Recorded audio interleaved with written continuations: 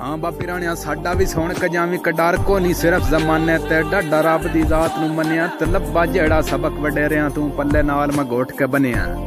ਤੇ ਇੱਥੇ ਹੋਰ ਕਾਨੂੰਨੀ ਟੇਲ ਕਰਕੇ ਸਾਡੇ ਨਾਲ ਜਦਾਂ ਕੋਈ ਖੰਨਿਆ, ਲੱਤਾਂ ਬਾਈਆਂ ਲਾ ਯਾਰ ਜ਼ਮਾਨੇ ਹੀ ਨਹੀਂ ਜਨ ਬਣਿਆ, ਸਾਬਤ ਬਣਿਆ।